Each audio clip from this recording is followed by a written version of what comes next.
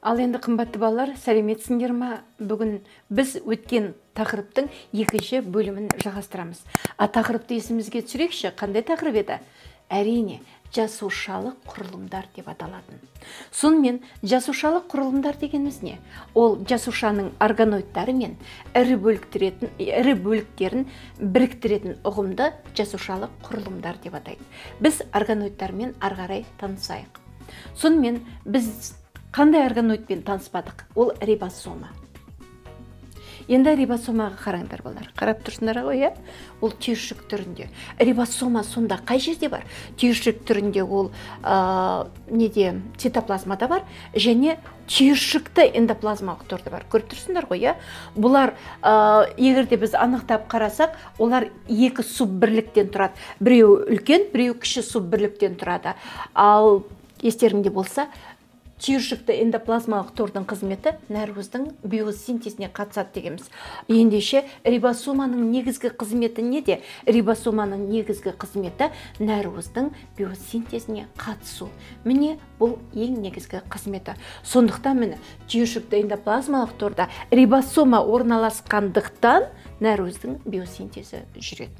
Рибосомада балалар мембрана жоқ ол мембранасыз органоидтарға жатады. Өзі рибосомалар екі түрлі болады. Прокариотты жасушаның рибосомасы және эукариотты жасушаның рибосомасы. Негізінен рибосомалар ядрушықта синтезделеді. Келесі органоид келесі органоидты лизосома деп атаймыз. Міне. Лизосомаға қараңдар. Көріп тұрсыңдар ғой иә? Жасушаның қай жерінде ол орналасып тұр. Лизосома деген сөз гректің тілінен аударған кезде лизис ертемін ергіш қорытамын деген сөзден шыққан. Білесіңдер ма лизосоманың екінші аты қандай? Екінші аты бұл ас қорыту органоиды деп атайды. Ас қорыту органоиды. Неге дейсіңдер ма? Себебі лизосомада алпысқа жоқ гидролиздеуші ферменттер болады. А фермент дегеніміз не? Ол ә, химиялық реакцияларды тездететін заттар. Ал алпысқа жоқ гидролиздеуші гидролиздеуші деген терминді білесіңдер иә? Ыдыратушы деген сөз. Сонда лизосоманы неге ас қорыту органоиды дейді. Себебі оның құрамындағы ферменттер ә, жасушаларды қорытуға қатысады. Естеріңде бар ма? Жасушаның өзін өзі қорыту процесін үдерісін автолиз деп атайды. Енді лизосоманың құрамында қандай ферменттер болуы мүмкін? Мысалы үшін болуы мүмкін нуклеаза дезоксирибонуклеаза немесе липаза немесе фосфатаза. Бұлардың барлық, барлықтары ферменттер. Сонда лизосома дегеніміз ас қорыту органоид деп аталады. Келесі ә, келесі міне гольжи жиынтығы ә, гольжи жиынтығы дегеніміз гольжи деген ғалымның атына соның құрметіне қойылған органоид неге десеңдер 1898 жылы ә, бұл гольжи деген ғалым осы органоидты тапқан қай жерден тапқан? Бұл жүйке жасушасынан тапқан. Сондықтан гольжи жиынтығы деп аталған. Бұл гольжи жиынтығының ерекшелігі бар. Неге десеңдер гольжи жиынтығы бұлар ядросы, ядросы мембранаға жақын орналасады. Және цистерналар түзеді. Қарап тұрсың көріп тұрсыңдар ғой иә? Цистерналар түзеді. Және бұның қызметі эндоплазмалық тордың қызметімен тікелей байланысты. Эндоплазмалық торда синтезделген заттар гольжи жиынтығына түседі олар тығыздалады синтезделеді секрет түрінде бөлініп шығады. Сондықтан оның қызметі осы эндоплазмалық тордың қызметімен ә, тікелей байланысты болады. Естеріңде болса эндоплазмалық тор бұл жасуша ішілік ә, тасымалға қатысады дегенбіз. Ә, бұл ә, гольжи жиынтығы кейде жеке түйір жеке жаңағы жеке домалақ шар ретінде немесе орақ ретінде кездеседі. Оларды диктиосома деп атайды. Сонда диктиосома.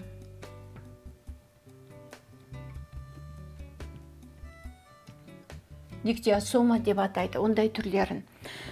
Енді келесі келесі гольжи жиынтығы естеріңде болсын бір мембраналы органоид келесі митохондрия митохондрия дегеніміз не? Митохондрия дегеніміздің екінші аты бұл электр станциясы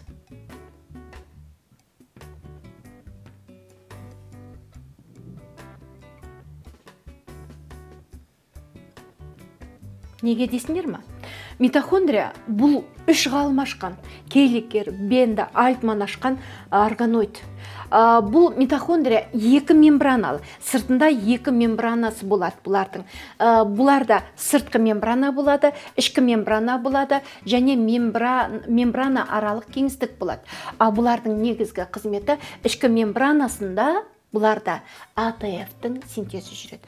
Ал естеріңде болса біз бізге энергия керек.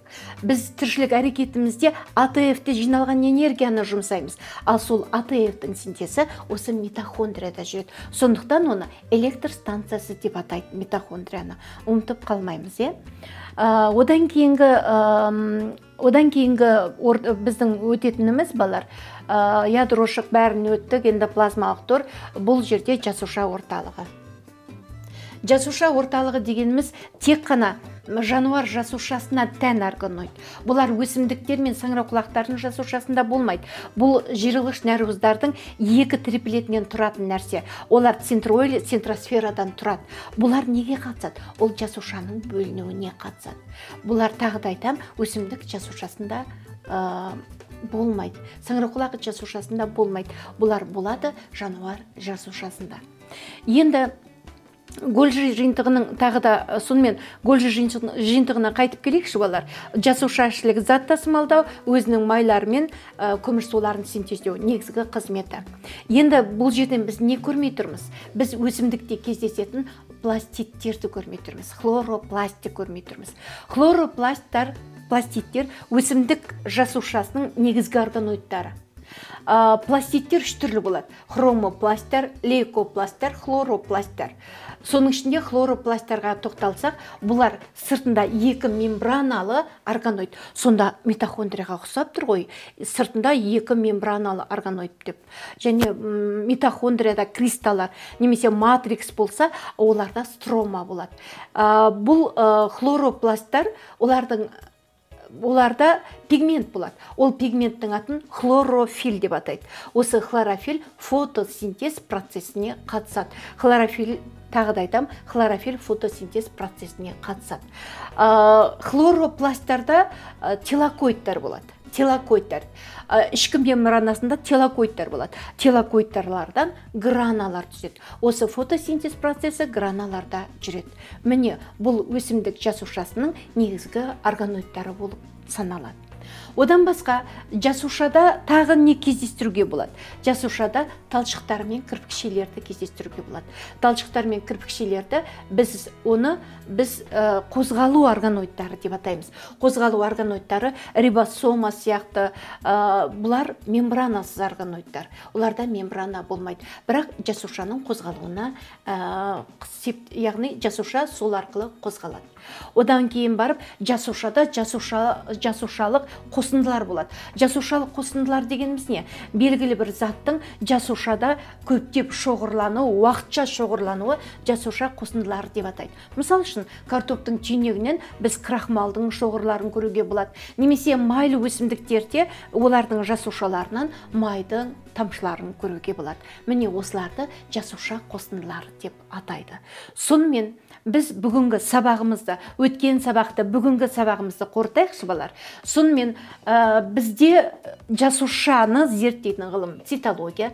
Жасушада эукариотты жасушаның міндетті түрде құрамдас бөліктері мембрана цитоплазма ядро болады. Жасушада органоидтар болады. Органоид дегеніміз жасушаның бір бөлігі өзінің алып жатқан орны бар атқаратын қызметі бар белгілі бір құрылымы бар. Жасушаның бір бөлігін органоид деп атаймыз. Сонымен біз қандай органоидтармен таныстық? Бірінші цитоплазма. Ядроның ішіндегі кариоплазма олар сұйықтықтар. Одан басқа эндоплазмалық тордың екі типімен. Лизосома жасуш плазмалық мембрана оны қоршап жататын қорғанышты қызмет атқаратын ядроның ішіндегі ядрошық митохондрия гольжи жиынтығы жасуша орталығы лизосома. Міне бұлардың барлықтары жасушаның органоидтары болып табылады. Сонымен біз бүгін жасушалық құрылымдарды өттік. Сұрақтарың болса каналға жазылуды ұмытпаңдар. Келесі сабаққа шейін сау болыңдар.